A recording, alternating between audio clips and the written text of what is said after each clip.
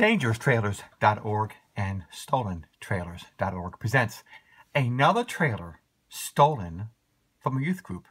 Now, in Virginia, every delegate, like Delegate O'Bannon, Delegate LaPasi, and running for office, potentially Eddie Whitlock, they all laughed at me.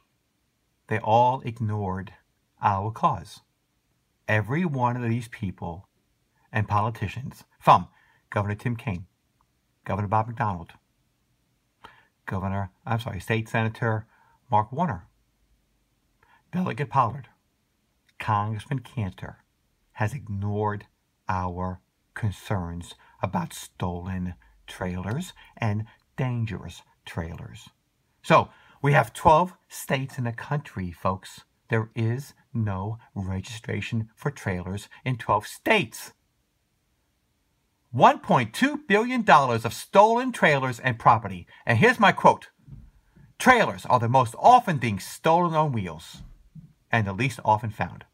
Also, last month, Google this Dawson City Police Chief indicted. In Google. We got a police chief stealing trailers and issuing new VIN numbers. So, let's go ahead and expand this. Yes. Families in Detroit. Now, reporter Jennifer Ann Wilson shows you why their popular youth sports programs are in jeopardy. Mac Sports had parked that trailer right here because they were doing some renovations on their own lot just two doors down. But Monday morning, they woke up to find that trailer with all of that equipment for the kids was gone. Only these tracks were left behind. This is the 8 foot by 12 foot trailer that enables Mac Development to operate Mac Sports and serve around 300 Detroit kids every year. 150 of them participate in the soccer program, which has become so popular, it's launched other sports and even life services programs.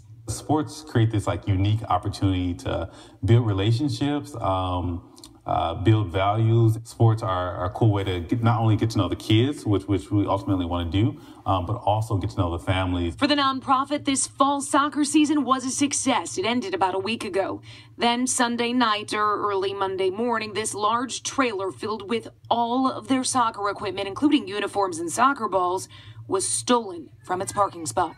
We have uh, cleats, goals, um, all of our uh, shin guards, our actual grill that we, we actually grill on Saturdays to be able to uh, serve hot dogs and different things. Without the trailer and all the equipment inside, Mac isn't sure how they'll be able to offer soccer once again to those 150 local kids in the spring.